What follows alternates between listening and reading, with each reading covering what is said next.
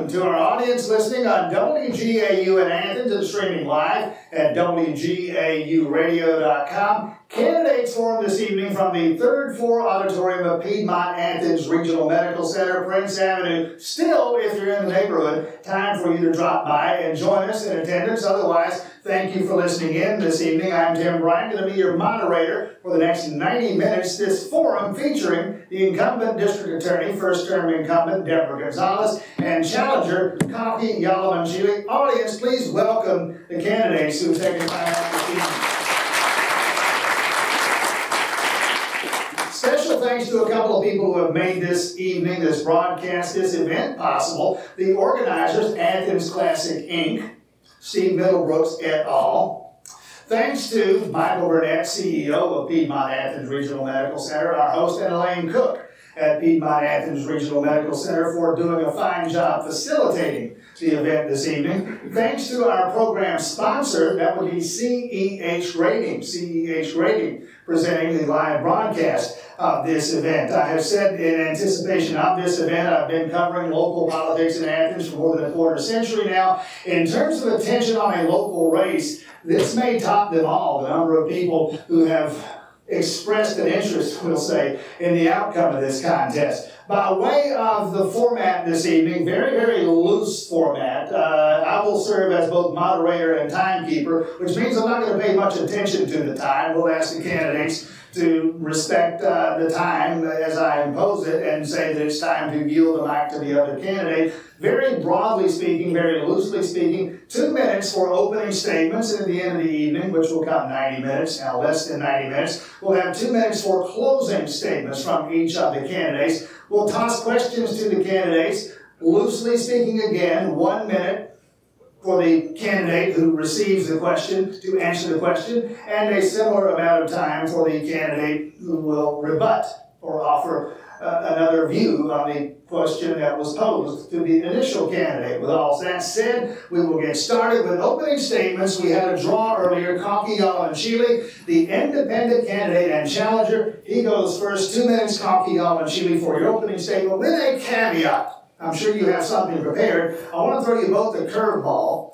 Use a portion of your opening statement to say something positive, something nice about your opponent.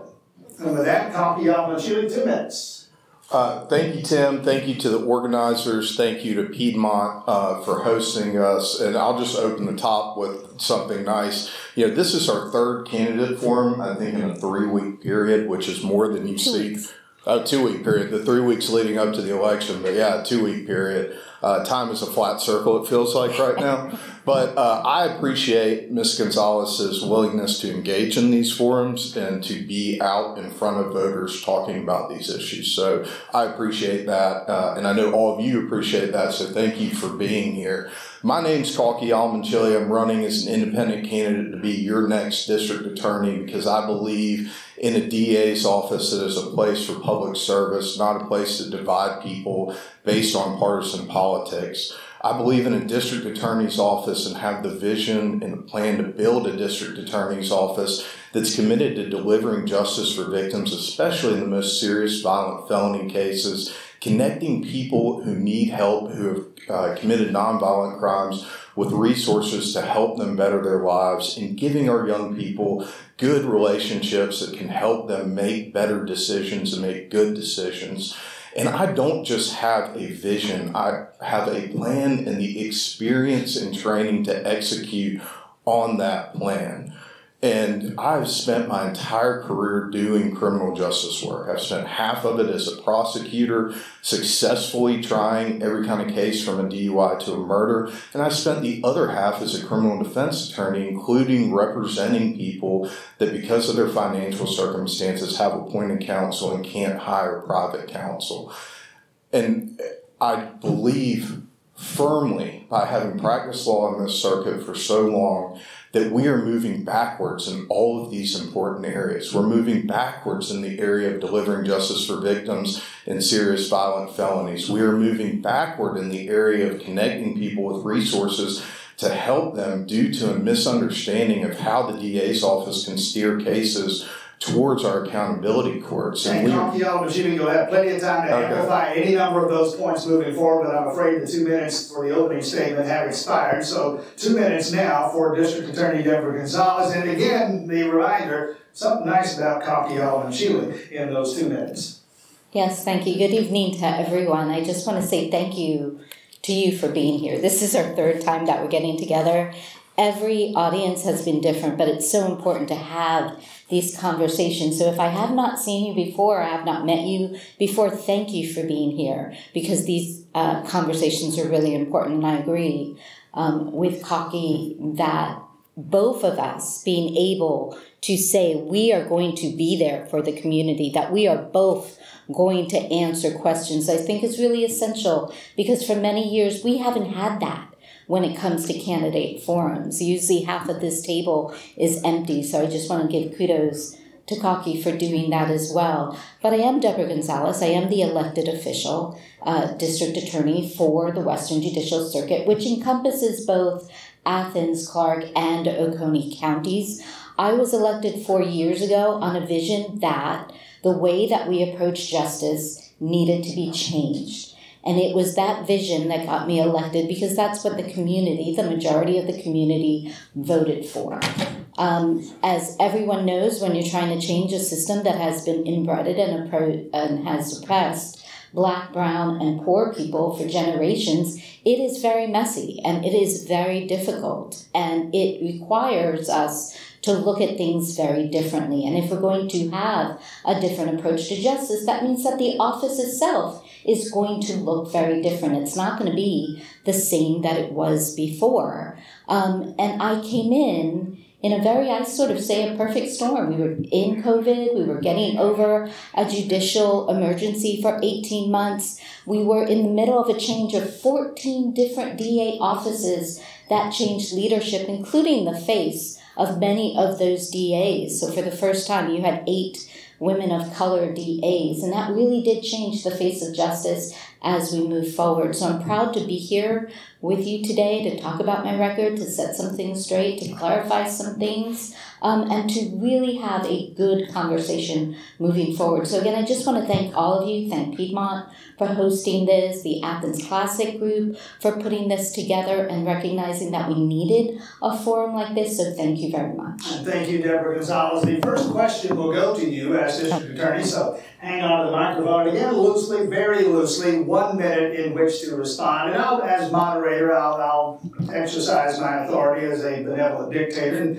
expand that time uh, that time frame from time to time. But the question uh, deals with an event that came down, I guess, just yesterday. The Georgia Supreme Court ruling uh, against your claim of immunity to open records requests in, in certain cases. Uh, I want to get your reaction and then Coffeyall and Shealy yours to that Supreme Court ruling. Yes, so thank you for that. Actually, I think it came out today because that was when uh, I noticed. But things go very, very quickly here. Um, that lawsuit went forward because of a series of overwhelming, harassing requests, open records requests that were made to my office, 60 of them in 30 days, two a day, one in the morning, one in the afternoon, like clockwork.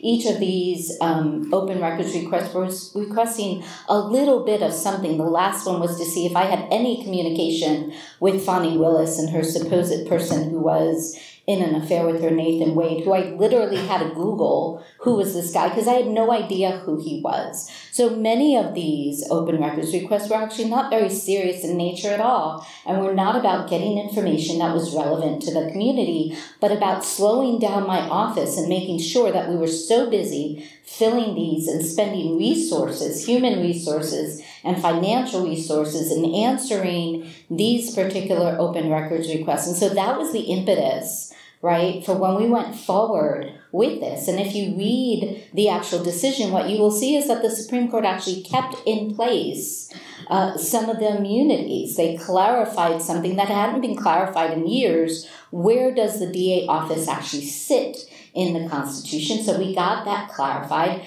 There are other things that they answers that they, uh, I'm sorry, questions that they actually did not answer that we look forward to continuing this litigation to find out those answers because that's the only way that we're actually going to find them out is being able to go through this legal system and have that clarification. Let me get Kalki Yalamanchili's response to that uh, judge's ruling, that Supreme Court ruling.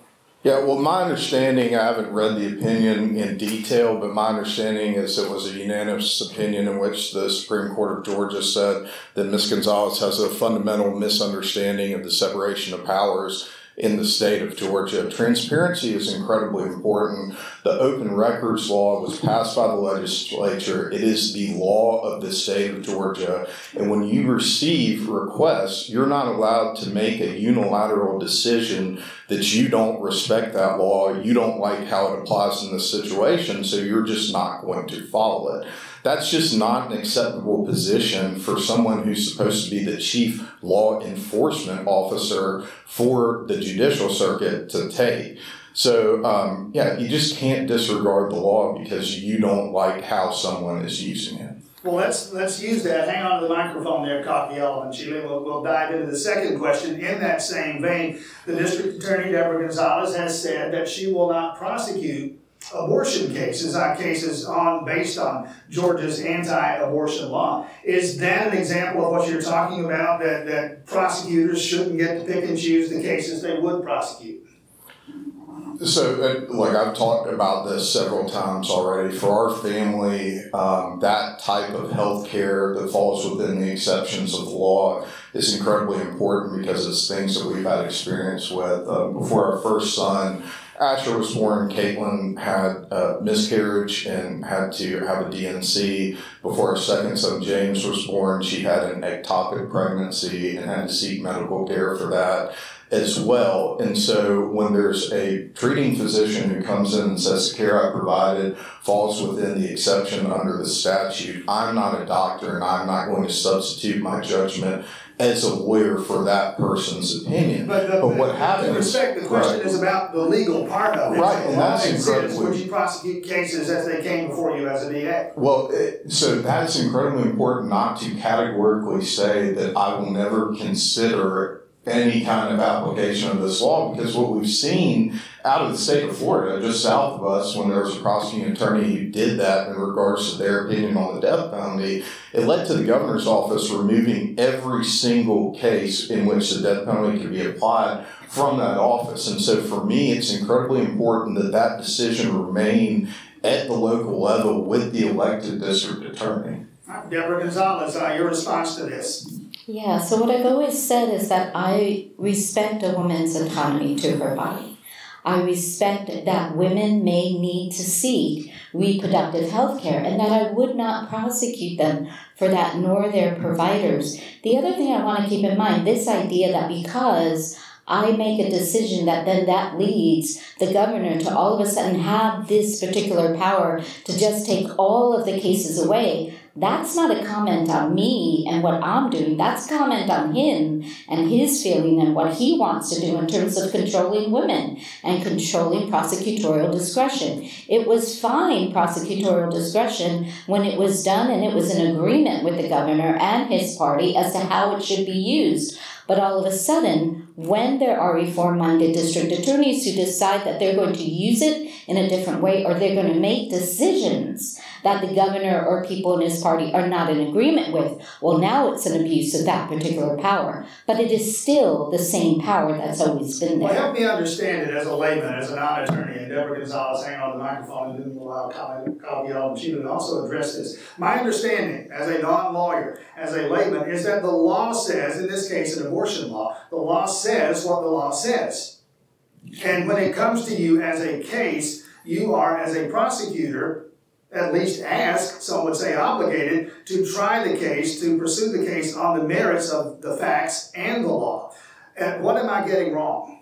We are obligated to do our due diligence and review the case. We are not obligated to prosecute every single case that comes to our office. There's just not enough resources in order to do that. And so we evaluate each case, we look at the evidence, we look at the facts, we look at all the circumstances of that case, and then we determine, considering our resources, what is going to take priorities? What cases should take priority? Should a case of a woman seeking reproductive health care take priority over a child molestation case or a murder case or any of these other very serious um, violent crimes that are happening in our community? You know, we can also say, due to this particular six week abortion ban, we already know that there are two women who have died because of it, because the providers of these aren't sure what the law says, aren't sure if they're going to be held in malpractice, aren't sure if they're going to be arrested. So women are not getting the essential health care that they need, and they are literally dying. And that is two that we know because we also know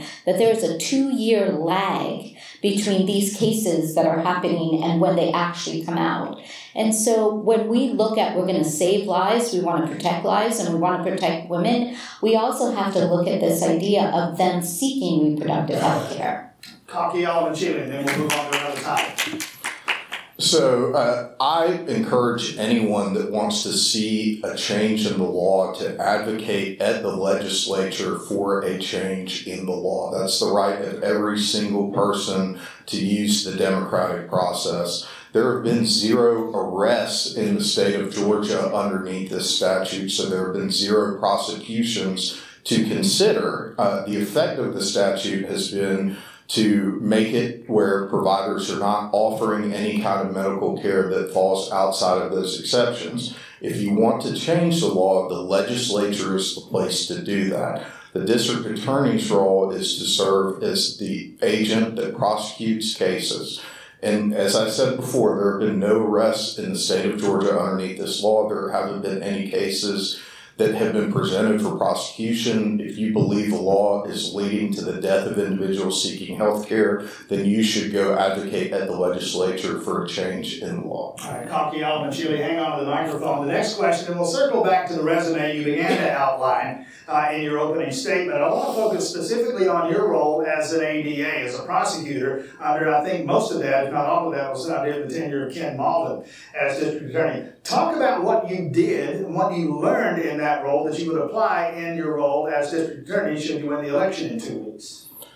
So uh, I started off working as a low level felony prosecutor, so the more simpler felonies. I was really successful in that pretty quickly. So before I left the office, I got promoted to a position of leading one of the four Superior Court courtrooms, which involved prosecuting the most serious crimes the murders, the crimes against women and children, the sexual assaults, um, and the highway drug trafficking cases, as well as supervising two younger attorneys who were prosecuting the lower level felonies. I mean, what I learned during that time period uh, was how to put a case together and successfully try it to a jury. I also learned how to work within the jurisdiction with partner agencies to make sure that the DA's office was referring cases to felony drug court. We don't just rely on other people to do that. If you believe that's the right place for a case to go, it's incumbent on you as a prosecutor to make it happen. If you want to see something happen, if it's important enough to advocate for it,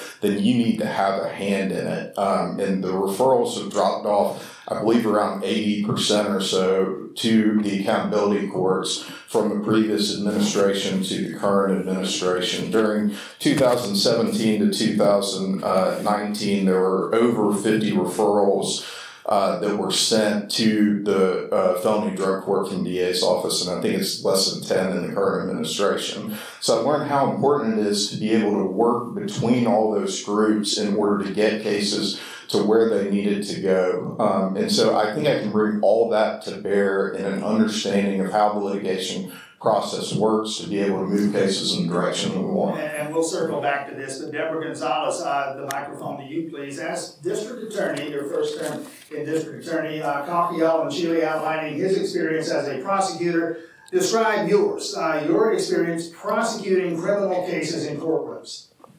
Yeah, so when I came in, it was no secret that I had not prosecuted a case before I came DA.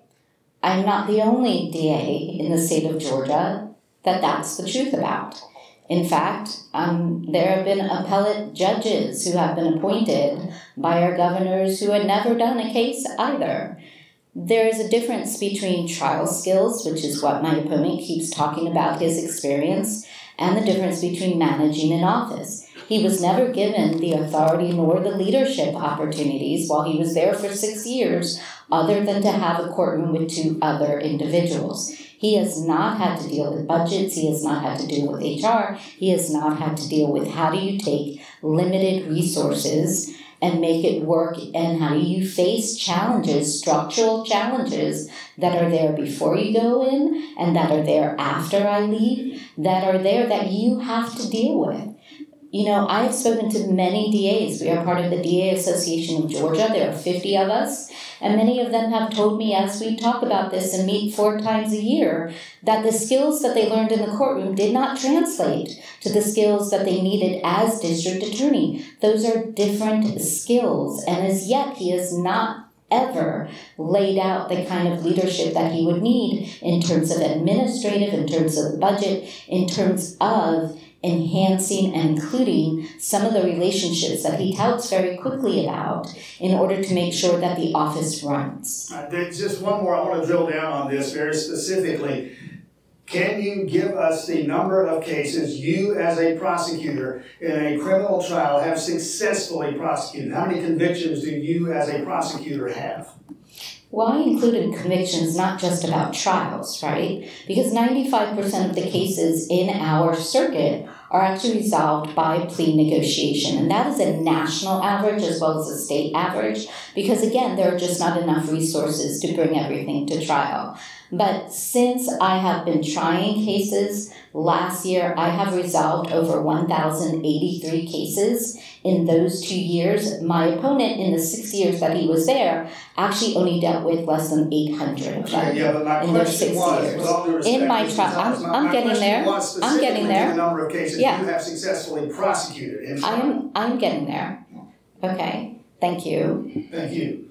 Um, but in terms of the cases and the trials, you know, there was a moment earlier this year where I actually tried six cases in seven weeks. And I was successful in four of those six cases. And considering that kind of time pressure, I consider that pretty successful in terms of not only being in the courtroom and doing those trials, but also being the DA outside of the courtroom and making sure that the office was running, as well as being able to recruit and retain the people who are in that staff, as well as deal with the open records requests that were coming in, which we have always answered. There's not a single open records request that we did not answer, even through this litigation. So all of that work has been happening at the same time.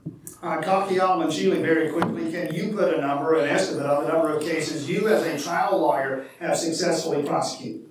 Uh,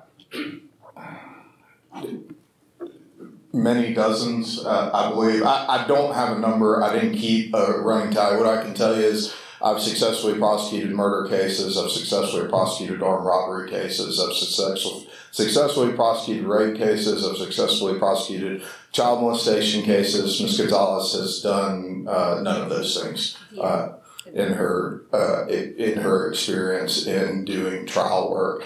I don't know what the total number of cases I handled when I was at the office was.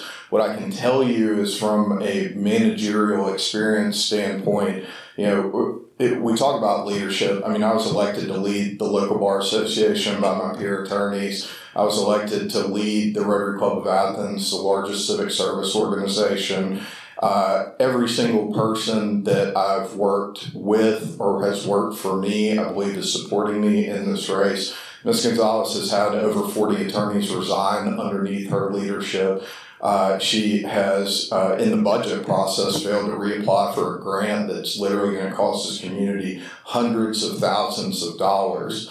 Um, so, no, I have not managed the budget of a government office. I've run a successful law practice, um, but you know, I don't know that touting a record of failure is the type of experience. All right, well, let's talk about it. You, you broached the subject there. Hang on to the microphone, we'll spend some time on that issue of staffing. You have made that a cornerstone of your campaign here. Talk about what you see as these staffing issues, numbers if you have them.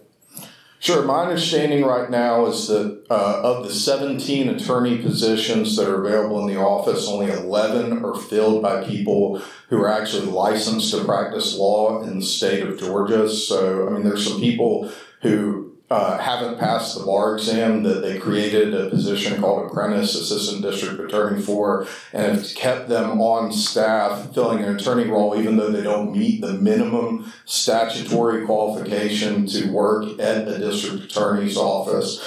Um, so you have 11 lawyers. Now the problem is the people that have been hired have uh, an incredibly low level of actual litigation experience. And that's why in the last seven trials that the DA's office has had, they've lost six of them. And in four of those cases, they didn't even get to the point where the jury was deliberating on the case, which is such a low bar to clear. They didn't present enough evidence in order to even get the case to a jury in three of those cases. And in one, they violated the defendant's rights. They didn't turn over his recorded statement with police, and they tried to improperly admit evidence that wasn't admissible, which led to a mistrial in that case.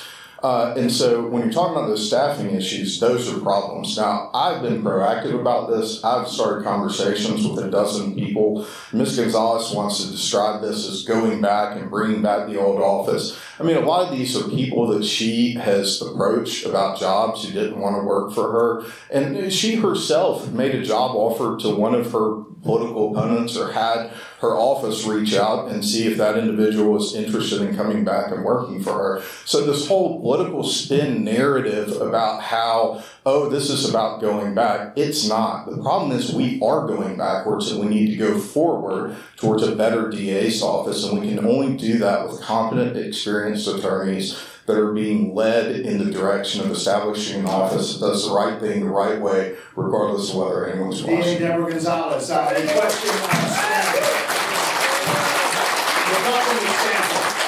Okay, yes, thank you for that. So when I came in, there were four vacancies to begin with. And what's really interesting is somebody actually posted an article from 2004 when Ken Mauldin came in absolutely arguing the same thing. Oh, these people are leaving. Oh, there's a revolving door because Ken Mauldin is now new. This is nothing new when leadership changes, that there is turnover in there. Again, when I was at that District Attorney um, Association of Georgia meeting, there we are, and the question was asked how many of you have shortages in your office?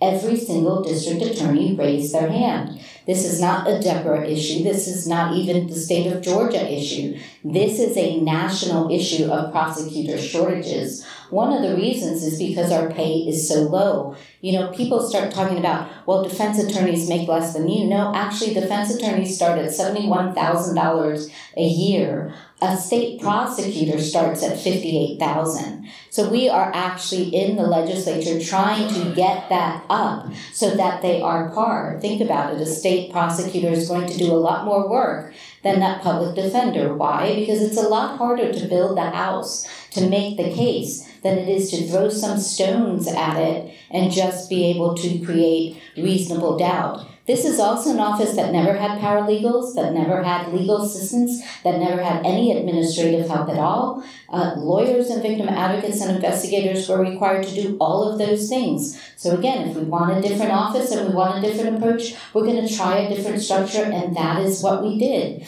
At a time where we had a shortage, we looked at how can we be more creative? What can we do differently to include people? And that meant bringing in people who are not doing things that are required of a licensed attorney. They are not practicing in front of a judge. They are doing the back stuff and research and, and things of that nature, almost like the British system of barristers and solicitors as we do that. Okay, let me ask, are they analogous to paralegals? Is that the type of work they're doing? Yeah, more or less. But we also have people like, for example, I have one gentleman, he was a prosecutor for over 15 years. He is a retired attorney of 30 years. And so he did not want to take the bar, and he is still in the office being able to be a mentor and to help look at these cases and to get them through. I'm very proud of the fact that I put together a CAPE unit, Case Analysis and Pretrial Evaluation Unit. And in that unit, we do look at cases and see what can go to pretrial diversion, what can go to accountability courts. But at the end of the day, a defense attorney has a responsibility to his client to look at all different options for that client and then to advocate for his client to get into these particular programs. My office is not the gatekeeper to those programs. There is a steering committee that has a criteria that will select who can get into those programs or not.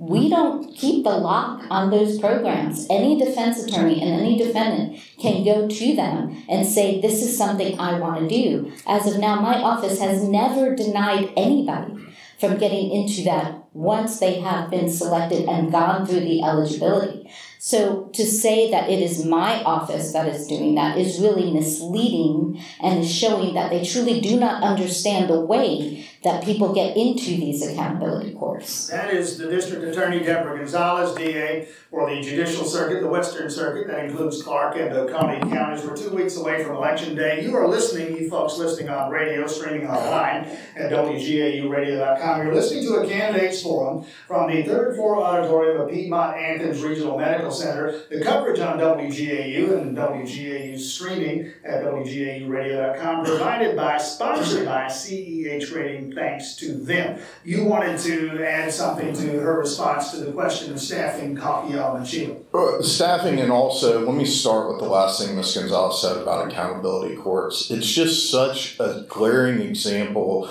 of why not having actually done the job down in the trenches leads to bad outcomes for people who oftentimes have the least access to resources and advocacy for them. Every person who works closely with accountability courts will tell you that to have a successful program, the prosecuting office, whether it be the DA's office or the solicitor's office, has to be committed to being on the front line and referring cases. And that's because the DA's office gets all of the information first. You get the police report, you get the criminal history before anyone else in the process does, and you have access to uh, conversations with law enforcement about the circumstances of the, uh, the contact that that person had coming into the system. So when the DA's office, you know, one isn't turning over discovery for, you know, a year after an arrest has been happened, there's no way for a defense attorney to be able to evaluate a case adequately. And when you're taking the position of our job is just not to stand in the way, not the position which you should, which justice demands that our job is to get this case and this person connected to the resources that can help them, you are doing a disservice to this community. Deborah Gonzalez, I will allow you a moment to respond and then we will move on. Thank you. I think sometimes people have a misunderstanding of what I, as a progressive prosecutor, stand for. We are not a second public defender's office. We will hold people accountable and make those difficult decisions defendants are not our clients. Our clients in society is a very different relationship between a defense attorney and a defendant. That defendant is paying that defense attorney, or that defense attorney has accepted an appointment to represent zealously that defendant and his interests. That is not what a state prosecutor is about. A state prosecutor is about holding people accountable. And yes, we do have conversations with defense attorneys about their clients to learn about them, but at the end of the day, the defense attorneys know much more about their clients than we will ever know. And we may know the facts and the evidence that we get from law enforcement, but if we're talking about these alternative ways of helping individuals, we have to look at it holistically. And if the defense attorney isn't willing to work with us and to step up and say, yes, I want my people to do this, then there is no way that this is going to work either. It's a holistic approach, it's a collaborative approach. But there have been many times that I've reached out across to the public defender, Chief John Donnelly, and said, let's work together on this, including the restorative justice program for juveniles. And his response to me was, I don't have time, I need to deal with this case. Or his response is, that's prosecution, it has nothing to do with me. And in terms of juveniles and minors. That brings me to a and in the question. And the point I should have made earlier is that a great many of these questions were submitted uh, via email and online from the radio audience and elsewhere. And this is one of those. And I'm going to read it uh, as written by the questioner. Uh, and this deals with the issue specifically, as you'll hear, of truancy. Ms. Gonzalez ran on a platform of not prosecuting minors for truancy. Thus, she understands that the juvenile court system is designed not to punish these kids, but to provide services to the entire family, such as transportation, therapy, parenting, etc., to resolve the issue before the child is adjudicated a delinquent. Instead of ignoring these issues, shouldn't we try intervention before the child's behavior escalates and he or she becomes a danger to the community? Uh, the long question from a listener there. I hope you got the most out of it, Deborah Gonzalez. Your, your chance to respond. Yes, so thank you. Yes, so I have been very open that I was not going to prosecute truancy, but guess what? Neither did my predecessor. Neither did the Solicitor General before, the Solicitor General now. Nobody's ever prosecuted truancy. The other thing that I said is that I will not make empty threats to families, right? What we have to stop doing is we have to stop putting social ills into the criminal justice system. If somebody has a mental illness issue, then we need to deal that. We have a very sad circumstance right now in terms of competency. People can get stuck in competency court because their defense attorney puts in an evaluation and then they come back from DBHDD saying, oh yeah, they're incompetent, but they can be restored, and they end up spending years in this system. We need to fix that. When it comes to substance abuse, and we have lots of treatment programs out there um, for that, we need to get to the underlying issue. But this issue of truancy and trying to separate families, and yes, is it about truly the best interest of the child when you're taking them out of their homes and you're putting them into a foster care system that really leaves a lot to be desired? We have to look way ahead to the consequences of what trauma happens to these children when they are taken away from their families and put into systems that are really not about their best interests, that are really not about taking care of them as they grow up and age out of this system. And so, what I have done, I've said, no, we need to take a step back and see what that decision is actually going to end up on that child three, five, ten years from now when they are released and their parents aren't there. And so, no, but again, I don't prosecute it. My predecessor didn't prosecute it. The Solicitor General didn't prosecute it. This is a red herring thrown to distract you from the actual reform work that we have done. The obvious question would you prosecute truancy? So, it, it's important to understand what we're talking about. These aren't delinquency cases, they're what are called child in need of service cases or CHINS cases. And the DA's office's role is not to act as a prosecutor the way you would if a child's alleged to have broken a criminal statute. You're actually acting in the function of what is called a guardian ad litem, which is to give the court an opinion on what is in the best interest of the child. And this isn't about separating families, it's about understanding that kids that aren't getting to school are often coming from families that are facing some kind of hardship that having counseling and wraparound services and various other things that are available through juvenile court, which really is a treatment court modality, not a punitive court modality, uh, can help that family get into a situation where that child is going to school again. The other thing is when kids are missing school, it is oftentimes one of the first indicators of either physical or sexual abuse that is happening in the household. So to ignore it as the DA's office also doesn't even stop it from happening. We should talk about that also. What's happening right now is the DA's office is vacating a role that it has and should be filling as the elected representative for the state in juvenile court, and juvenile court is proceeding in these CHINS cases with a contract attorney being hired to come in and handle the CHINS cases that involve truancy. So it's not even that I'm not going to deal with it, and so it's not going to move forward. What's happening is your elected district attorney is saying, I'm not going to offer an opinion on what should be going on with these kids. And I think it's incredibly important. We're not talking about putting kids in jail, we're talking about connecting families with resources who are having a hard time and possibly bringing in social workers to identify a situation where a child is in an abusive setting. And I believe we have an obligation to do that. Let's talk about. Can I just, um, may, may I do a, a, a, very quickly, why do you have to get system involved in order to get services? You don't. I don't understand that. Why, why do we have to do that? Why do we have to give a kid a record?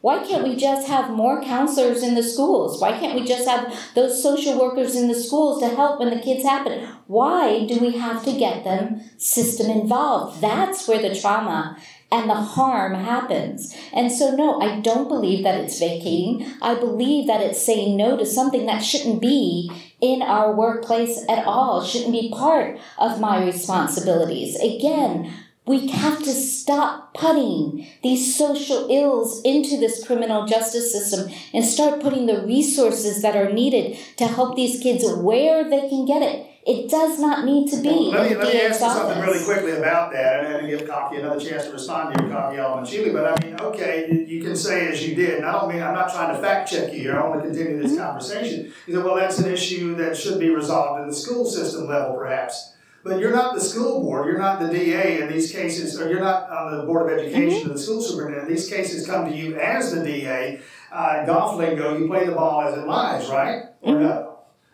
Well, I play putt putt. I don't. I, I don't play golf. I play putt putt. But um, but yeah, you you put it as it lies. But again, my predecessor didn't do this.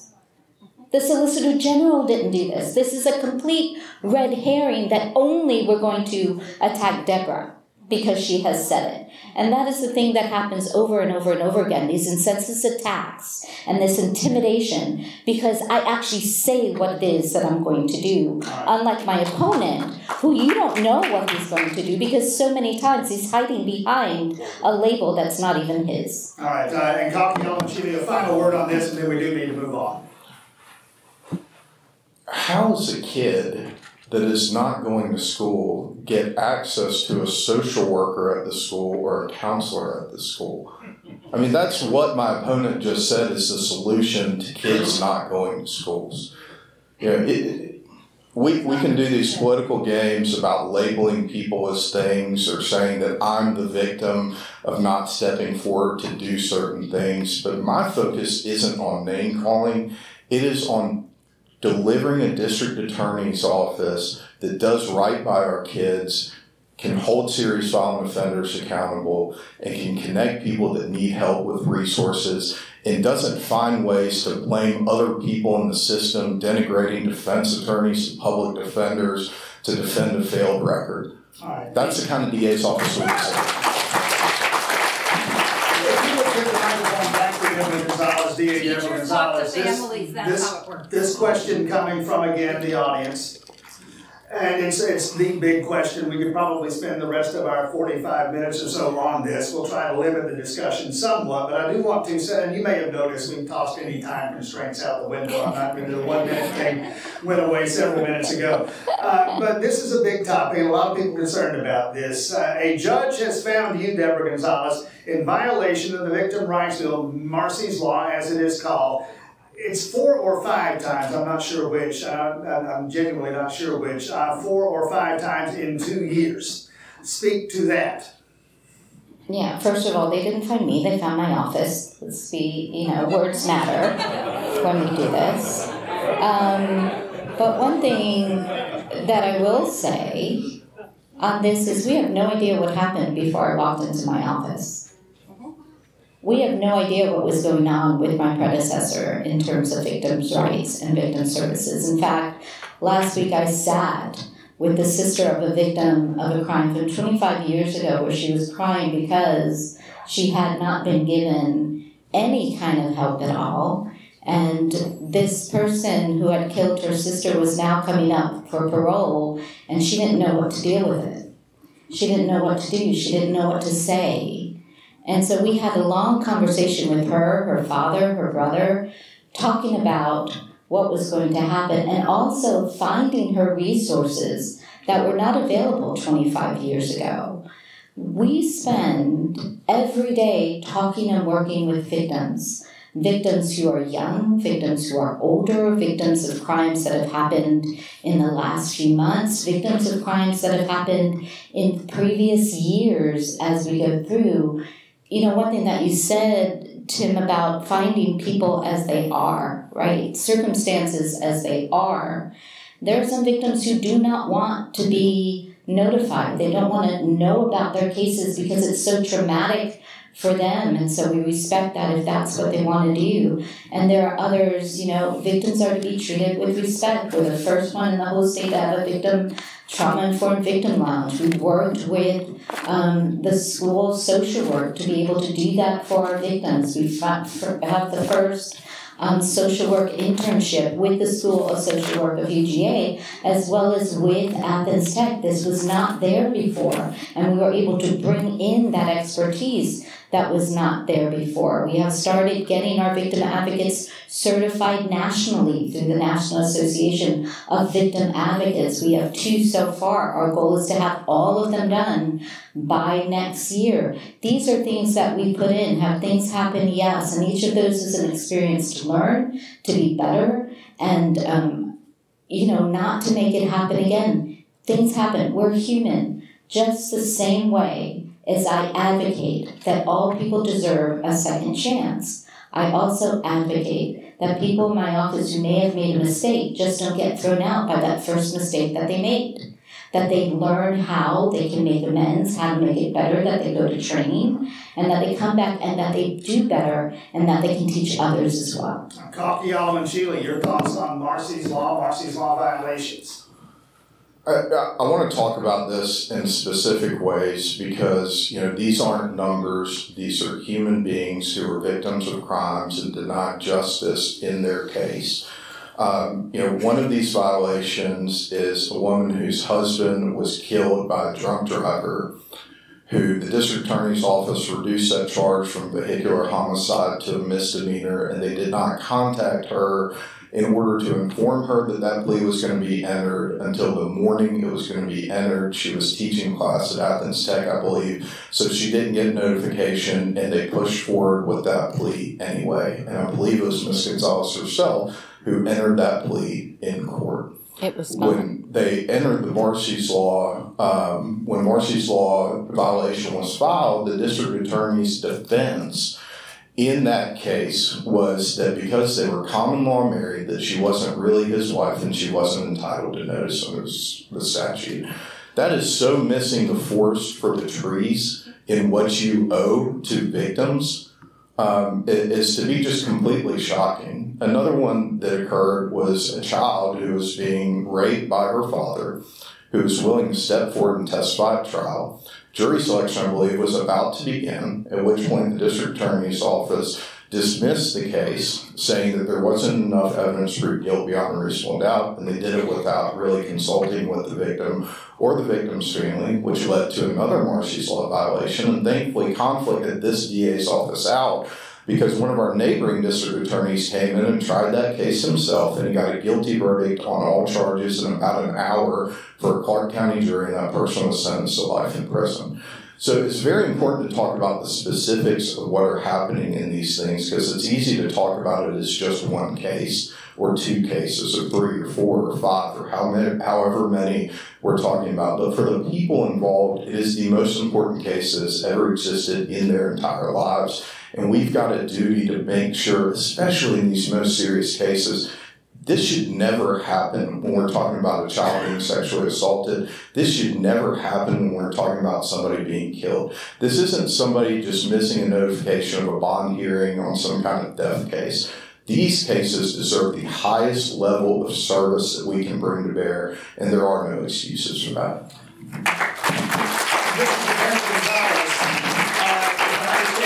Correctly, you ordered by judge, I believe Judge Stephens, you and your office, to take what amounts to a refresher course on Marsy's Law, the criminal victims' rights. Uh, for my own edification, what is the status uh, of that matter right now? Is the training underway? Is it pending? What's happening with that? Yes, so actually, we take that training twice a year, and we took it on October 4th. And in fact, when we spoke with the Prosecuting Attorneys Council to get that training up and going, they ended up having over 150 different individuals from all different circuits um, signing up for that course and showing just how much confusion there is about how do you adhere to Marsy's Law and how do you adhere to these victims' crime of um, Bill of Rights. So it was really interesting some of the questions that actually came out in that training from other circuits, what questions they had in terms of these particular laws and how it is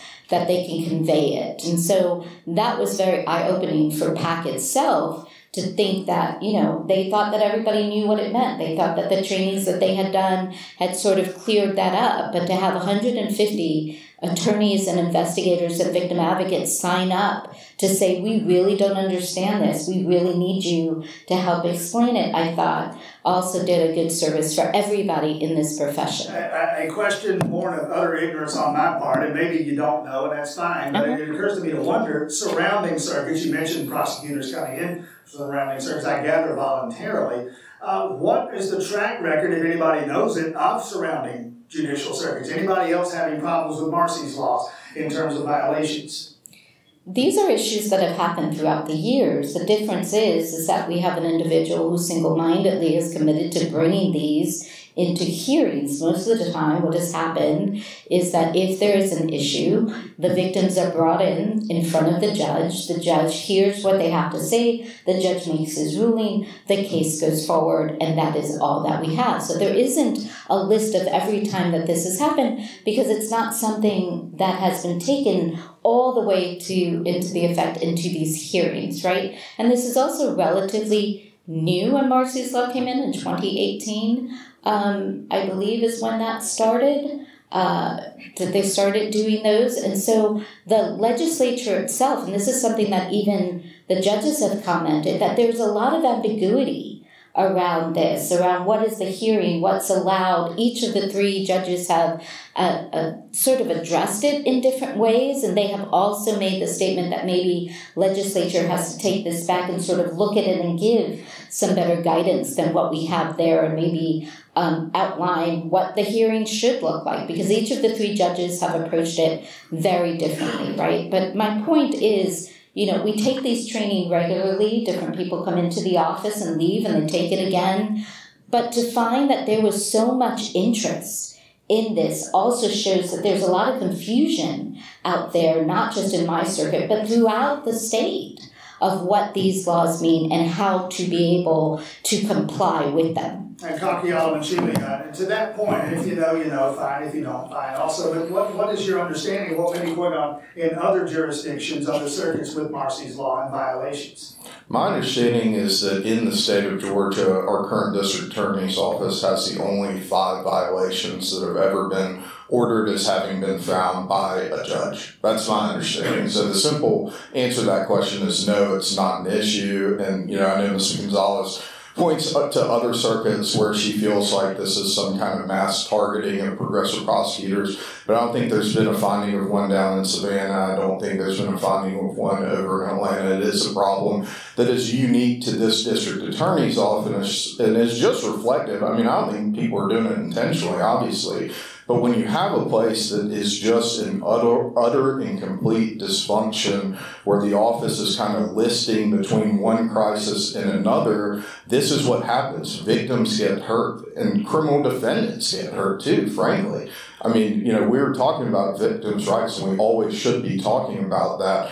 But what doesn't get covered is the fact that this DA's office had someone incarcerated for 13 months on a low level felony, a $2,000 bond, without even accusing or indicting the case. And when it came up on a hearing for the violation of that person's right to a constitutional speedy trial, the response from the DA's office was, Well, Judge, we didn't realize this case existed until you set it for a hearing today. And so this dysfunction hurts people across the board.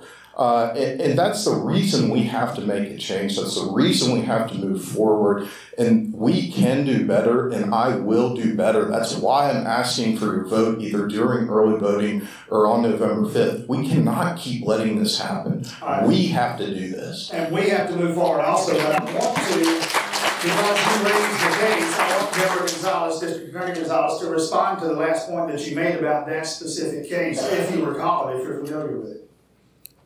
Um, Can you just repeat what? It's the guy, Jabaz Andre Jones, who was in jail for 13 months without being indicted.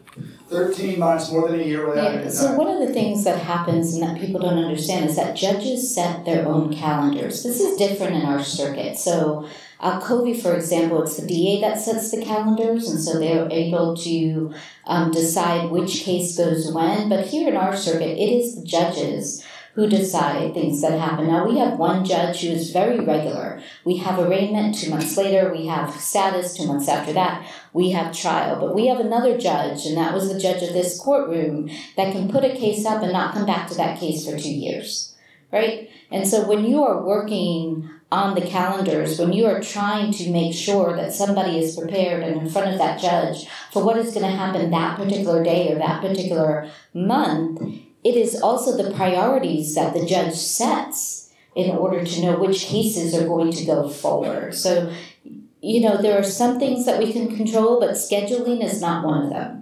Deborah Gonzalez, District Attorney. Again, for the radio audience, you're listening to WGAU Athens, the candidates forum, Deborah Gonzalez, the first term incumbent DA, and the challenger in the election that is now two weeks away, Kalki Chile. We're in Piedmont Athens Regional Medical Center, the third floor auditorium there. Thanks again to our host this evening. And thanks also for sponsoring this radio broadcast and the online stream, CEH Rating. I want to speak to, and this goes to the question, D.A. Gonzalez, that so many raise, and I'm sure you're aware that it's being raised, that question of prosecutorial competence. Kalki Yalamanchili mentioned a moment ago a case with which I'm familiar. I actually personally know the prosecutor in this case. Uh, a case of a man, a father, accused of sexually assaulting his young daughter. It was a case that was, and correct anything I get wrong, but it was a case that was dismissed by your office. Randy McGinley, prosecutor in the Alcovy Circuit, Newton and Walton counties, successfully prosecuted that case to the point where the jury returned guilty on all count verdicts in 45 minutes. For lack of a better question, what happened and what does that say about the level of prosecutorial competence in your office? Well, first of all, you know, things change. People come in and out of an office. The individual who was responsible, the state prosecutor, the ADA, at that moment, he is no longer in the office. And this is one of the reasons why he is not in the office. Decisions are made by individual assistant district attorneys. They are given certain autonomy because they are go- the ones who are going to be looking at that case, looking at the evidence. I, as a DA, cannot look at every single case that comes into the office. There are a thousand of them. That is just an impossible task in terms of that. But sometimes an ADA will make a decision that I have multiple cases with this particular individual. This case is not one that is good or going to go forward. It cannot meet the burden of beyond a reasonable doubt, but this other case can. Um, I don't know all of the reasons why this particular ADA decided that he was not going to pursue this case. He wanted to pursue the other case with the same defendant and the same victim and made that decision at that time. It turned out to be not the right decision. I respect Randy McGinley very well. He's been, you know, very helpful to me in helping guidance and, and helping with some of the things that we have had. But there are different levels of prosecutorial um, expertise, and we need to start building pipelines and pools in order to get the people up and going. On average, an ADA will stay in that office anywhere between four to five years before they move on. Many of them do not decide to become what we call careerists in terms of being a state prosecutor. Why? Because it's, it's very intensive work and you don't get paid a lot of money. And so many of them will go in for a few years when they're relatively young, learn about how to do a trial, and then move on to either have their own law firm or work with another private firm where they can make a lot more money than what they're making as a state prosecutor. And then you have those that you've invested in that stay there for a number of years. And so a few of the people that I had hired before had reached sort of that four or five year point where they were deciding what they wanted to do with the rest of their career, and many of them wanted to make more money. When the um, Athens Clarke County government did their market study, what they discovered was that we were anywhere from 10 to 26% less competitive in terms of salary than our areas around where people can go 20 minutes and get $20,000 more. But we are building on that pipeline, and that is something and a strategy that DAs have used across the state is to build that pipeline and to be able to train them and get them through. And just very quickly, then I'm going to hear Kalki Yalamanchili on this. The decision to dismiss in that particular case, you're saying was not yours, but was the ADA's. That's right. My ADAs have a certain amount of autonomy in the decisions they make, and I trust them because they are the ones who are in the trenches with that particular case. Again, I cannot review every single detail on every single case. Fair enough. Kalki Yalamanchili, uh, speak to that, the level of autonomy that uh, ADAs may have in your office as DA, if you may. It, it's based on case severity. Um, in, in a situation where you're talking about uh, incest rape of a child, I want to know what's happening with the case before a decision is made, especially if you're going to dismiss a case after you've started jury selection. That is an extreme action to take. We're not talking about, you know, two months before when it pops up on a status calendar. So uh, anything that has to do with a murder case or a, a rape or a child molestation that's going to trial, I'm going to be read in by the ADA. Am I going to sit there and listen to every single interview? No, but you sit down, and part of mentorship and guidance and training people to do the job well is sitting down with them and talking to them about what's going on in their courtroom, especially with their most serious cases. So that's something that ultimately the DA is responsible for. There's no way to kind of shuffle off that responsibility to lower level staff. I mean, that's the reason that you elect a district attorney because you have someone that's accountable for the things that happen in that office. From a broader staffing perspective, um, you know, the Piedmont Judicial Circuit, which is right next door, that's where my wife Caitlin works as an assistant district attorney, uh, is fully staffed, has been fully staffed. Uh, the county where Randy works, um, you know, if they're not at 100% staffing, they certainly never went through the issues that we uh, had here in this district attorney's office. And, and, it's not really something, you know, going back and change of administration, yes, that's going to lead to turnover. Um, you know, one of the things that was a difference when Ken came in is Ken basically tried all the murder cases, and so he's handling the most serious stuff and was able to carry that weight. But of course, there's going to be turnover. But let's look at the record of what actually happened. In 2021 and into about the first half of 2022, Ms. Gonzalez was able to hire new attorneys they were leaving very quickly. And if you look at comments that they've made about why, it's because of a failure in leadership and mentorship. But people were coming in. It's not like we couldn't fill the positions. It's just that they were leaving within a couple of months of starting. And to me, that's an indication of a lack of leadership in the office. And it's a pretty clear indication. And also, it's the reason why UGA's law school has cut off one of those great feeder pipelines of really, really smart kids who want to be prosecutors. I was up there, me and Ryan Swingle, who's here tonight, were up there talking to the criminal law student group, and there are kids interested in being prosecutors who are interested in working in Athens, just not under this administration. And they say that pretty explicitly. i All right, uh, copyology. We've just passed the top of the 7 o'clock hour. Uh, I have been lax and lenient on time to this point. However, uh, we will end this at 7.30 and not at 7.31. So we can begin to tighten up the responses to some of these questions here. And again, questions from our audience. Deborah Gonzalez, we'll start with you on this one. How can the DA have a positive impact on the opioid and drug problem and the larger gang problem? Speak to that, District Attorney Gonzalez. Thank you. So um, our office has partnered with the ACCPD to create the SAFE initiative, strategically addressing the fentanyl epidemic. This is something where we have representatives from hospitals and representatives from the different recovery programs and representatives from different community programs to go up there and to do trainings of Narcan, for example, to educate the community on how it is that they can help people that they feel might actually be under the influence or, or have an issue with substance abuse or addiction where they can get help. It is based on the issue that you first approach people where they are. And once you can go to where they are and get them the help that they need at that moment, then you can continue the conversations of what treatment they need and where they can go from there. So we have been very, very active as a partner in that, including helping to get um, grants for that, helping to do resource fairs. We just had a resource fair at the Pinewoods Library on that particular issue, and also doing it bilingually, doing it in English and Spanish, reading, reaching a community that this district attorney has not reached out before. We are the first office here to have materials both in English and Spanish. Our website can be translated into 23 different languages, understanding that we have others. As for the gang issue, no, go ahead. Go ahead. Very quickly. Okay. As That's for, a small problem, right?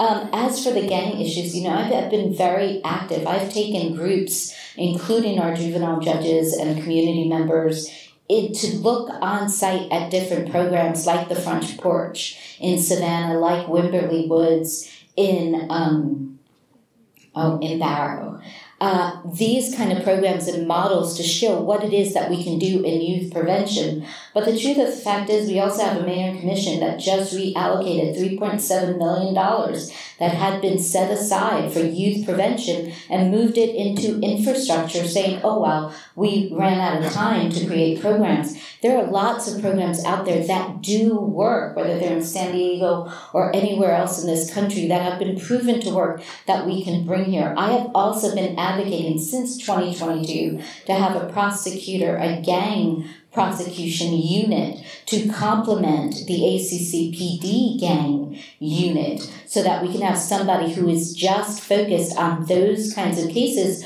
but who also understand that not every case with gang members is actually a gang case the way that it's defined by Georgia law, that it has to be something that is done in furtherance of that gang and someone who can distinguish that. And we had an excellent candidate who had been doing this and serving in that role in um, DeKalb County and wanted to come here, was working on a case with our law enforcement and that gang unit here. And we just could not get through this salary compression issue from the mayor and commission to bring that person here and to have that needed resources. And this is why I say that there are structural changes, financial and structural changes that we have no control over, that the mayor and commission does, that does not allow us to bring some of those needed resources to our community. And, and let me bring Kalki Yalamanchili in on this. Assuming that you were to win the election, you would face presumably those same financial constraints. How would you deal with it?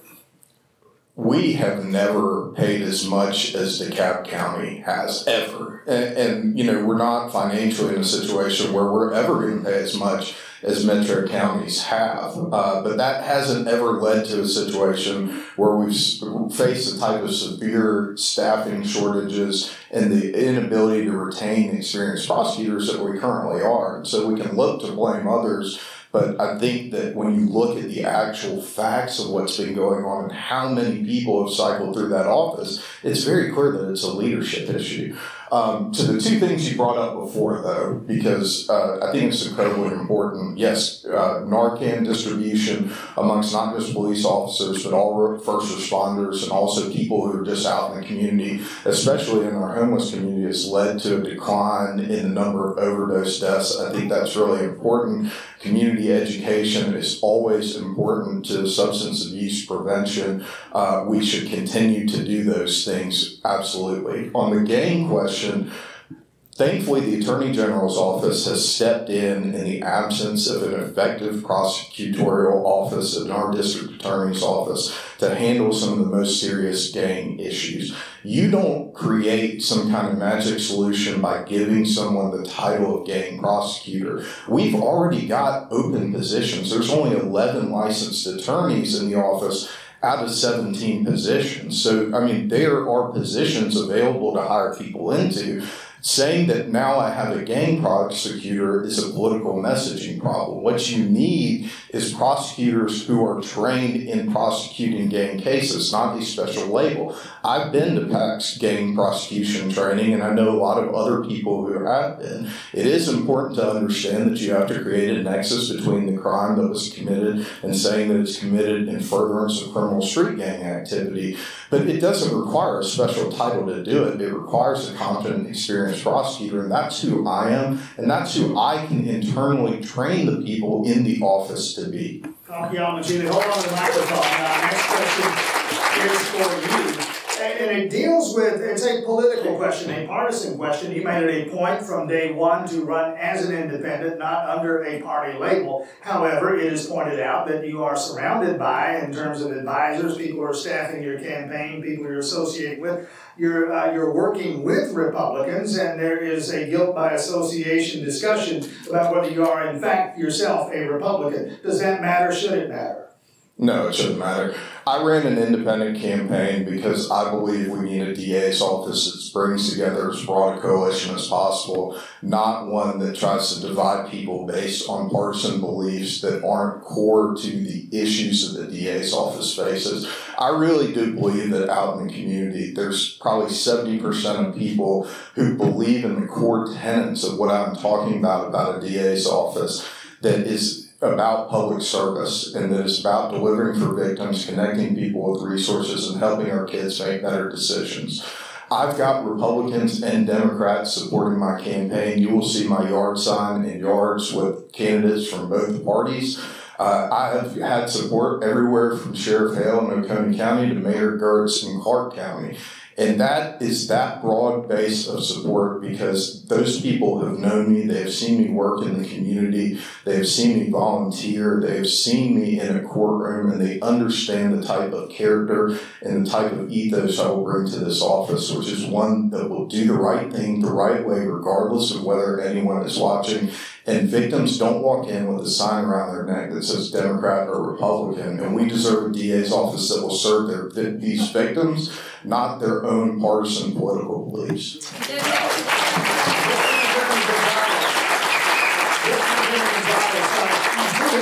his claim of a broad base of support, I, am looking in this room and I see people I know personally who supported your campaign four years ago. Outside of this room is Mayor Kelly Girtz, who supported your campaign four years ago, are not now, are in fact supporting your opponent. What are we to make of that? What do you make of that? Well, first of all, I'd like to answer the same question that my opponent answered. Um, and one of the things that I'm going to say is this is a partisan election. It is in the Constitution that it, people run under a party label. And you have the choice of whether to run as Democrat, as Republican, or as independent, as my opponent did. I think it's important when you put those labels that people understand the kind of values that you have. If you can't be honest about where your money is coming from, if you can't be honest about your affiliations to some of these people who are at the core going against some of the basic rights. They, these are the people who have taken the rights of women away. These are the people who want to take trans rights away. These are the people who are against LGBTQ. These are the individuals who are associated with this. And when you affiliate with that, when you affiliate with that, and yet you don't want to be honest about it, right? To me, that is a question of honesty and integrity. Be who you are. The one thing that you will say about me is I have said I'm Democrat from the very beginning. That has never changed. I have never wavered. And it's interesting to me that my opponent, after months of us asking for a plan, after incessant attacks and intimidation, all of a sudden puts out today, two weeks before the election, a plan that looks remarkably like the things that I have already been putting in the office right? Who is he fooling? Why is it that when he goes into one room where there are Republicans, his story is one thing? When he goes into another room with Democrats, his story is another. If it truly was going to be a coalition of everybody across the board, the story should be consistent and the same.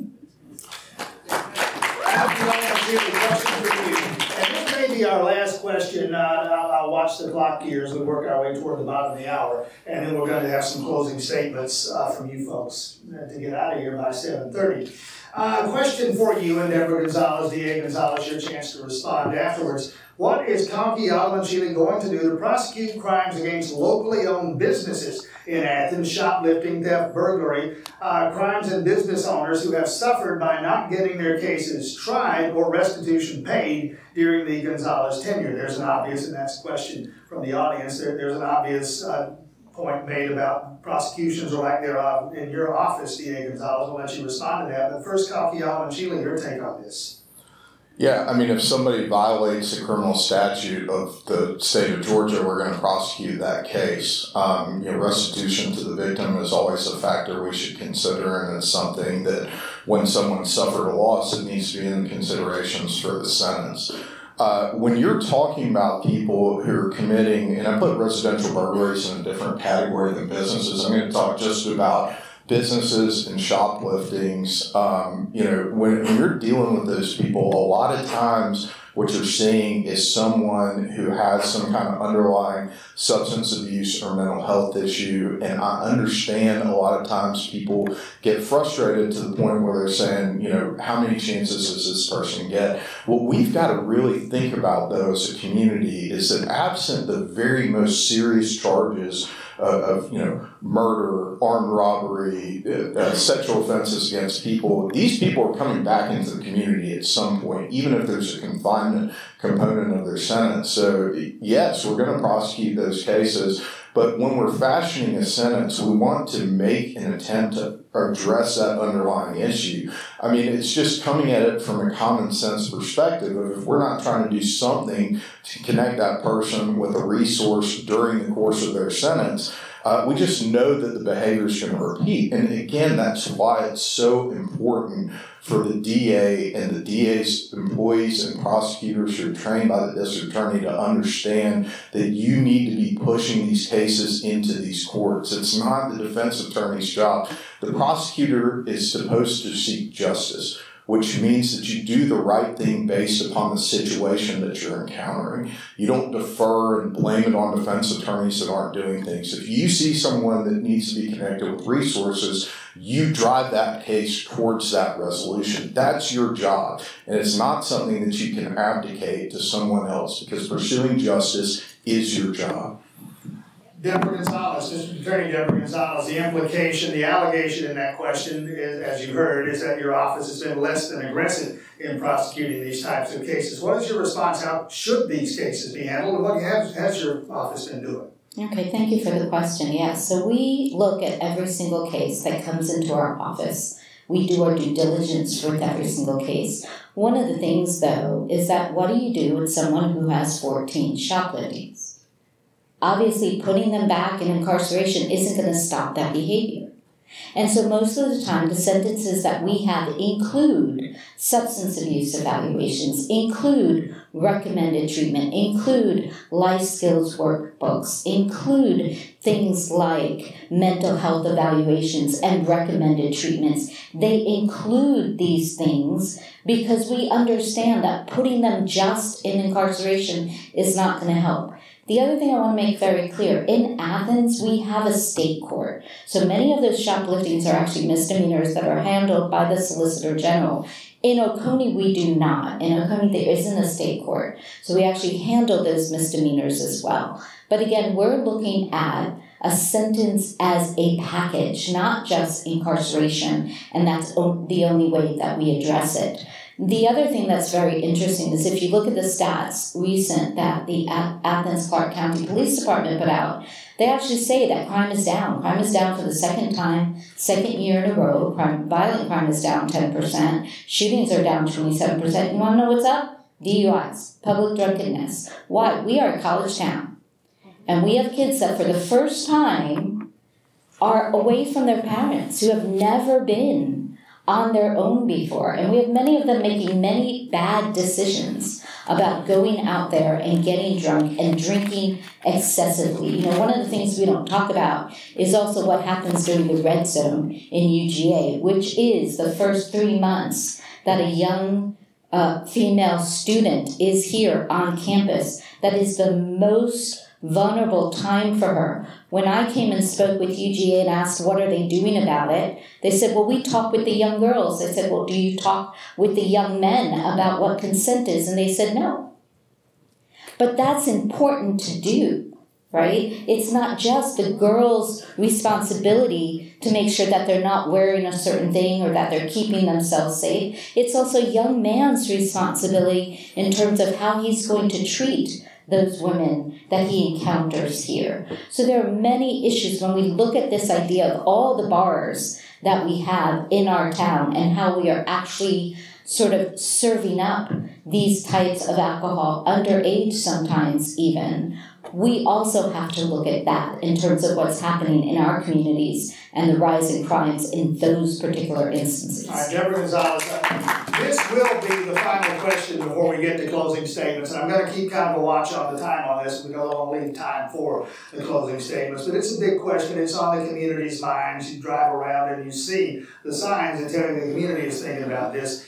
Why the decision? What was the basis of the decision? We're going to let Kalki Yalamanchili respond as well. What was the basis of the decision to bring in an outside prosecutor for the Laken Riley murder case? Take 90 seconds on that. So I was trying not to keep, not to make it political. That's really the reason why we did it. One of the things is once we found out that the defendant was Latino, I'm Latina. I did not want that to become an issue. I did not want that to become a distraction. I wanted the best prosecutor that we can have, and I didn't want the community sort of distracted by something else of a personal aspect of mine. And so we actually spoke with the prosecuting attorney's council uh, we had many conversations. I know Sheila Ross. She is an excellent prosecutor. In fact, she is the number one capital murder prosecutor that we have in Georgia. And I asked specifically for her so that she can come and do that case. And they agreed. And so they come. She works under me. She's under my authority. She's my special ADA and special prosecutor. So we have not just given it up. We still have those conversations in my office about what she's going to do with the case, how what the strategy is, how we go forward. Uh, and I'll one more thought on that, and again, I'll, I'll watch the time here. Uh, the decision, and I you campaigned on this, not to seek death penalty cases or death penalty trials, period. Uh, the argument goes, and the logic goes, and I'm sure it follows to a point, that if that were a card that were still to be played, you might not have a trial at all. He may have pleaded guilty. Did you at any point consider that in, in deciding not to seek capital charges in this case? We considered everything in this case. We sat with the family and we had many discussions about this particular choice of whether to pursue the death penalty or not. I'm not going to go into those conversations. This is a pending case. I'm not going to do anything that is going to disqualify my office from that. But what I would say, it was a long, hard conversation that we had in looking over those issues. Um, in there. And, you know, we will look at each case individually.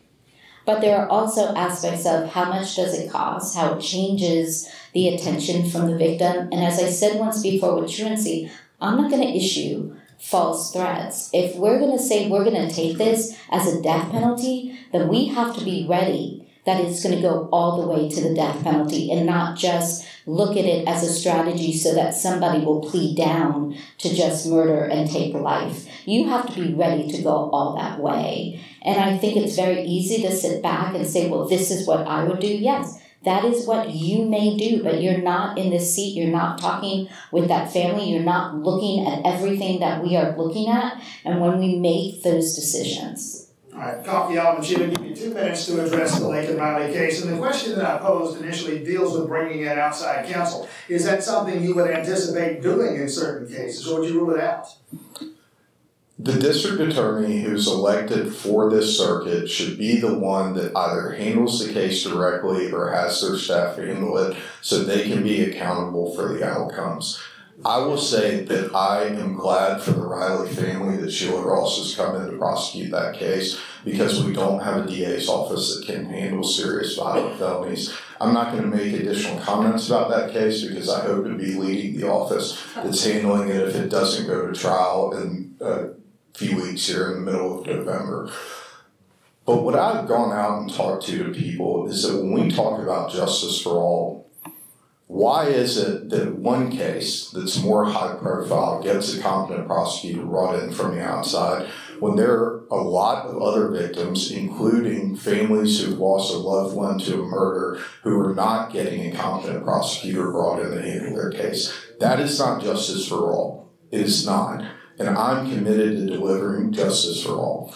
I've said the same thing about what kind of office I want to leave from when I made my announcement in the first week of October on the steps of the Athens Clarke County Courthouse. I've talked to about accountability courts in front of conservative audiences, and I talked about holding violent offenders accountable in front of progressive audiences because it's not a conservative or progressive issue. It is an issue of public safety, public service, and it's an issue of right and wrong. And what is going on right now is just wrong. And I just want to touch briefly because there's a mention of crime statistics. Uh, in 2019, there were 354 aggravated assaults. In 2021, there were 529. So that was a 49.43% increase. Now, those numbers from ACCPD seem to have come down, but the aggravated assaults in 2023 were still 19.2% higher. And I think it's interesting because in the actual data that the DA's office is releasing about what's happening in their office, they have cited that they've actually gotten more crimes for prosecution every year since 2020. I'm going to have to ask you to include any more of that in your closing statement because that is where we are. I'm going to be strict on the timing on this. Deborah Gonzalez, and, and again, we, we, we did a drawing initially to determine who goes first, who goes last. DA Gonzalez, your two minute closing statement.